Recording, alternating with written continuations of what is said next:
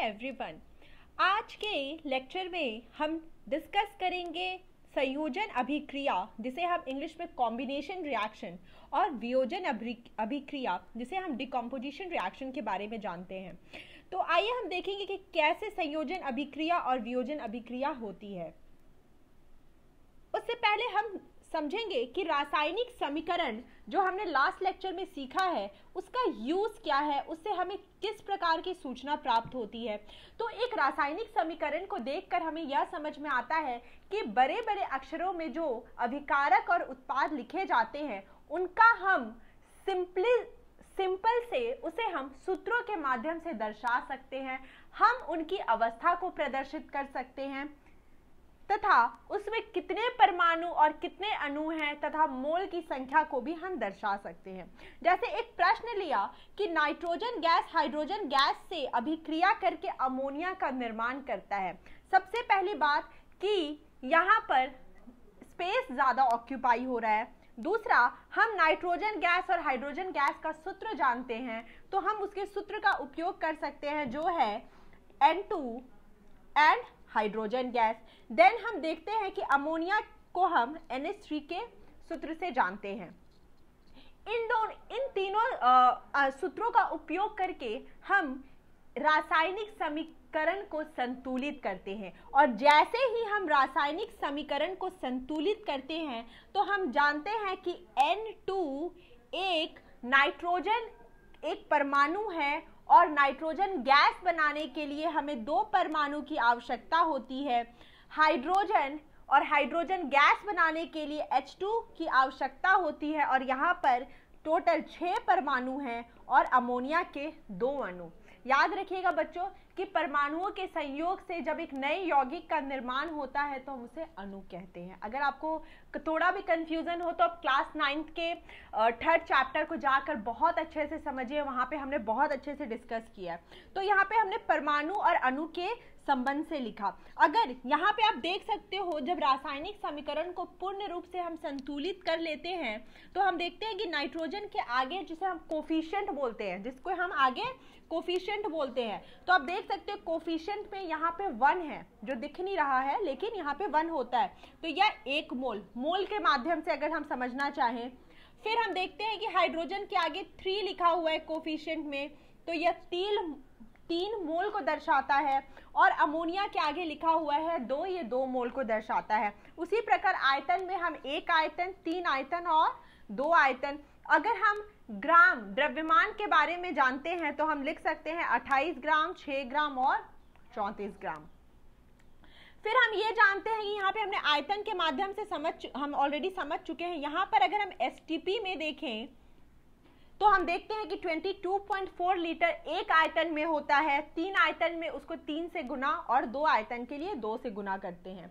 उसके बाद हम अपने मेन टॉपिक पे आते हैं, जिसका नाम है संयोजन अभिक्रिया। बच्चों, यहाँ पर मैं ज़्यादा नहीं बोलूँगी, आपको मैं एग्ज़ाम्पल से सीधा समझाती हूँ कि अगर कोई दो पदार्थ ए और बी अभिक्रिया करके सिर्फ़ और सिर्फ़ एक उत्पाद का निर्माण करते हैं तो उसे हम संयोजन अभिक्रिया कहते हैं या कॉम्बिनेशन रिएक्शन करते हैं। तो यहाँ पे G plus E plus F तीन डिफरेंट अभिकारक हैं, जिन्होंने मिलकर सिर्फ़ एक उत्पाद P का निर्माण किया है, जिसे हम संयोजन अभिक्रिया से समझ सकते हैं। तो यहाँ पे सबसे इंपॉर्टेंट जानने का बात है कि अभिकारक की संख्या हमेशा दो या दो से अधिक होगी और उत्पाद की संख्या हमेशा एक होगी। ये फिक्स है बच्चों, ये बहुत इंपॉर्टेंट पॉइंट है। संयोजन अभिक्रिया में याद रखिएगा। जैसे हाइड्रोजन गैस ऑक्सीजन गैस के साथ मिलकर जल का निर्माण करता है, एकल उत्पाद है। कैल्शियम ऑक्साइड और जल मिलकर कैल्शियम हाइड्रोक्साइड का निर्माण करता है और यहाँ पर आप देख सकते हो कि मैंने सभी की अवस्था को दर्शाया है। यहाँ पर गैस, सॉलिड और एक्वस के माध्यम से मैंने सभी की अवस्था को दर्शाया है। गैस हम जानते हैं गैस एल लिक्विड के लिए द्रव्य अवस्था एस सॉलिड मतलब ठोस अवस्था और एक्वस मतलब जलीय विलयन। जल का विलयन तो यहाँ पर आप देखते हो, दूसरे प्रश्न एग्ज़ाम्पल में कि कैल्शियम ऑक्साइड जल के साथ अभिक्रिया करके कैल्शियम हाइड्रोक्साइड और उष्मा देता है।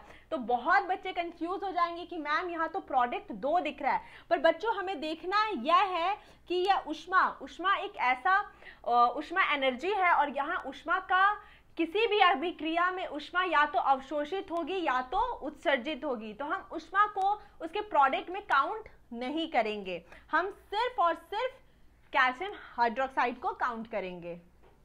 नेक्स्ट हम अपने उदाहरण में देखते हैं कोयले का दहन, जल का निर्माण मैग्नीशियम ऑक्साइड और आयरन सल्फाइड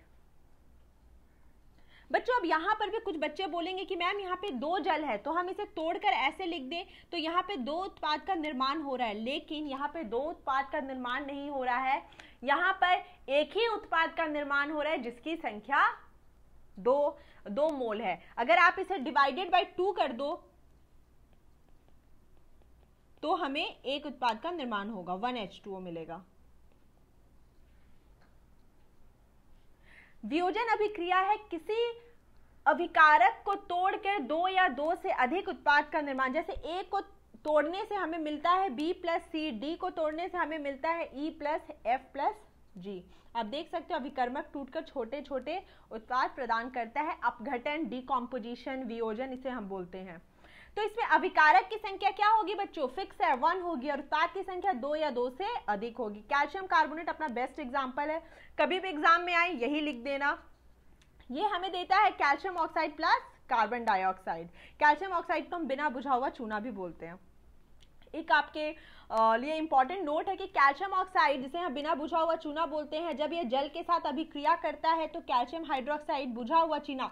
और इसी का उपयोग हम घर में चूने के रूप में या सफेदी के रूप में करते हैं। आपने देखा होगा, पुराने समय में लोग घर को व्हाइट वॉश करते हैं या उसे चमकाने के लिए सफ़ेद रंग का उपयोग करते हैं। या बुझा हुआ चूना यही होता है। और जब यह आपके वायु के कार्बन डाइऑक्साइड के साथ मिलता है तो कैल्शियम कार्बो कार्बोनेट का निर्माण करता है। तो मतलब अभी आप अगर अपने घरों को देखो और आपके घर में अगर चूने की सफेदी हुई है तो आप समझ जाओगे कि जो आप दीवार पे जो सफ़ेद रंग देख रहे हो, यह कैल्शियम कार्बोनेट है। और संगमरमर का सूत्र भी कैल्शियम कार्बोनेट होता है। अपघटन के प्रकार क्या है? तापन, हीट। हम किसी चीज़ को कैसे तोड़ सकते हैं बच्चों? हम किसी चीज़ को तोड़ने के लिए हम हीट का उपयोग कर सकते हैं, जैसे कैल्शियम कार्बोनेट और लेड नाइट्रेट का बहुत अच्छा उदाहरण है। सूर्य का प्रकाश भी बहुत बार अभिकारकों को तोड़ देता है, जैसे 2 A G C L plus two A G plus C L two.